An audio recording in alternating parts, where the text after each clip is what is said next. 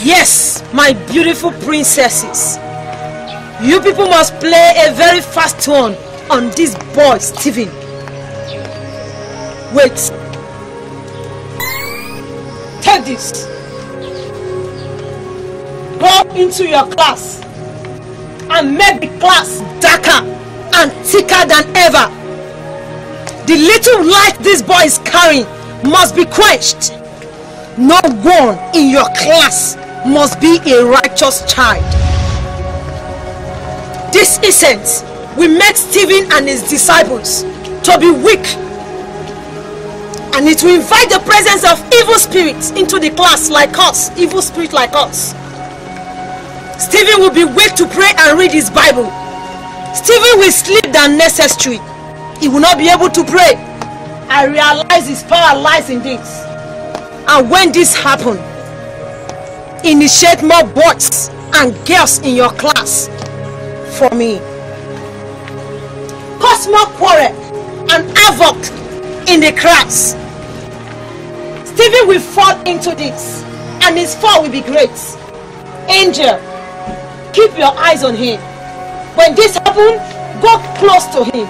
Much more closer to finish him completely. Yes, great one. He won't escape this time. And I'll make sure that he falls and his light totally quenched. I'll make it an empty trash can. That is my beautiful princesses, my faithful ones. Now, go. Yes, great one. Your wish is our command.